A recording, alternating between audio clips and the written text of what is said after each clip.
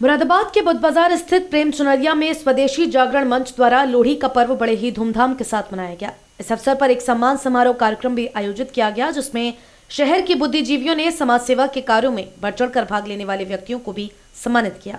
इस दौरान डॉक्टर अनुराग मेहरोत्रा ने पहुंचकर समाज सेवी व लालबाग गुरुद्वारा के प्रधान सरदार गुरप्रीत सिंह दुआ को स्मृति चिन्ह व शॉल उड़ाकर उनका सम्मान किया। साथ ही ये कहा कि लगातार समाज सेवा के कार्यों में बढ़ चढ़ कर भाग लेने वाले सरदार गुरप्रीत सिंह दुआ काम कर रहे हैं। स्वदेशी जागरण मंच का ये कहना था कि भारतीय संस्कृति को आगे बढ़ाने के लिए लगातार हम काम कर रहे हैं। आज लोहड़ी का पर्व मनाया जा रहा है।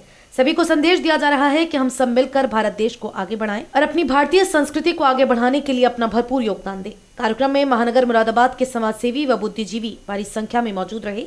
आज हम बुद्ध बाज़ार प्रेम चुनर में लोहड़ी का उत्सव मना रहे हैं। सब समाज के साथ मना रहे हैं। सारे समाज के लोग आए यहाँ पे और कोरोना की गाइडेंस देखते हुए कोरोना के हिसाब से मनाया गया है। लोहड़ी की हार्दिक शुभकामनाएँ तमाम शहरवासियों को, प्रदेशवासियों को और महानगरवासियों को।